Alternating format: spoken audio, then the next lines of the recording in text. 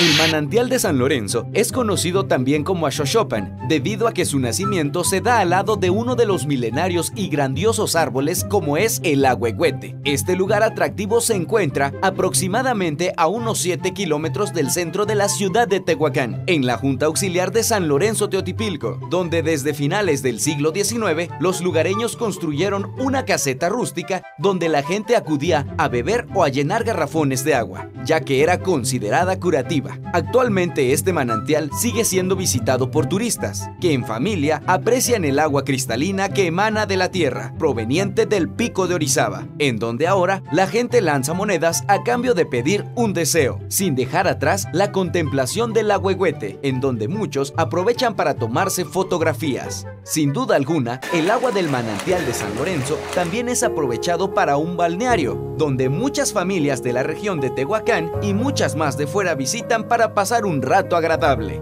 Las personas que han visitado este lugar expresan asombro ante lo que ven y se llevan un buen recuerdo.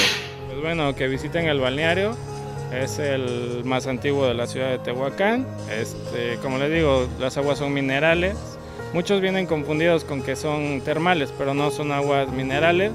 Casi la mayor parte del tiempo mantienen una temperatura entre los 20 y 23 grados, o sea que si así haga frío van a estar muy cálidos. Con imágenes de Joseph Méndez, para En Tiempo Comunicaciones, Arturo Vázquez Cano.